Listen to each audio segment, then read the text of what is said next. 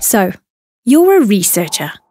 As part of a research team, you're contributing insights and innovation every day.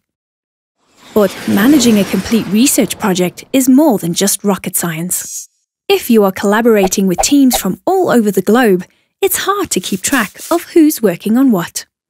How are you going to stay on the same page, manage your diverse research outputs, or promote and share the results?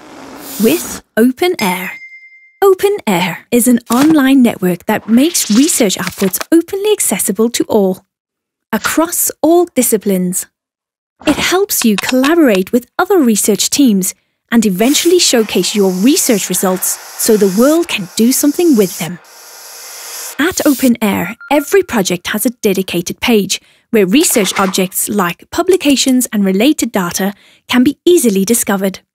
Just deposit your research outcome into a digital repository, like Zenodo. Then link it back to your project. That's it. Now you can manage your research project effortlessly. And others can openly use, discuss, and work together to gain new insights and accelerate research. And with just a few clicks, you can get support and fulfill the open science requirements for funding streams, like Horizon 2020. The best part? It's free. Now, start sharing, reusing, and linking research. Manage it all with OpenAIRE. Find out how we work together with initiatives from around the world to further advance open science. Go to openaire.eu.